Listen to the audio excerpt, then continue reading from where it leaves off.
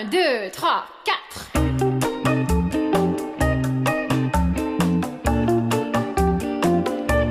Zooby zooby zoo. Zooby zooby zoo. Hi! Hi guys, I'm Mia from South Africa. Today I deliberately dressed up in one of my favorite outfits to attend a cultural festival held here in the city. My Chinese friends told me that my new Chinese style is perfect for today's theme and I think I just found the perfect match for this look. Look how these traditional patterns complement my new Chinese style. These are Foshan paper cuttings, a craft skill that has been passed down for hundreds of years. Oh yeah. I think it's just the technique is a little bit difficult and I messed up a little bit.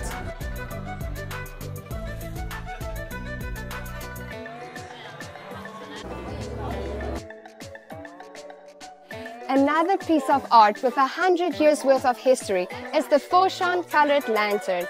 It's entirely handmade with impeccable details. Such exquisite art makes me want to collect one or two.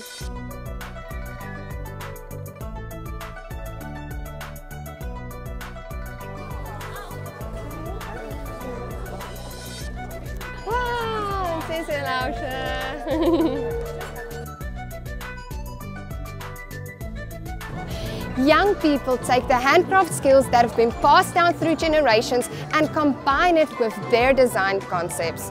I'm beginning to understand what my friend meant with new Chinese style.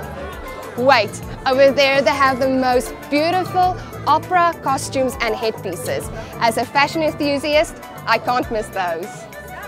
Ooh, it's so soft. 人人心欢笑， Yum, yum, 心欢笑，要揾星星中华意。哦耶耶耶！一百分，满分。谢谢老师，谢谢。I've got so many teachers here. In the Lingnan region, the lion dance brings good luck and happiness. Everyone is eager to touch the lion to bring blessings into their lives. I want to touch it too.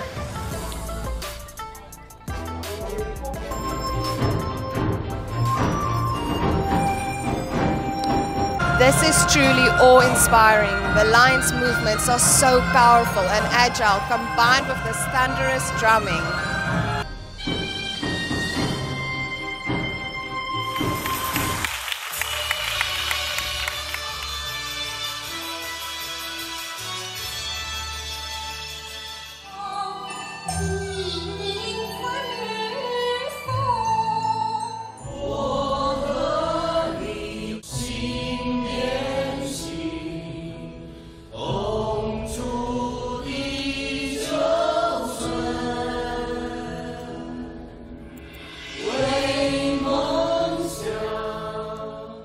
Today felt like a wonderful dream where history and reality just intertwine.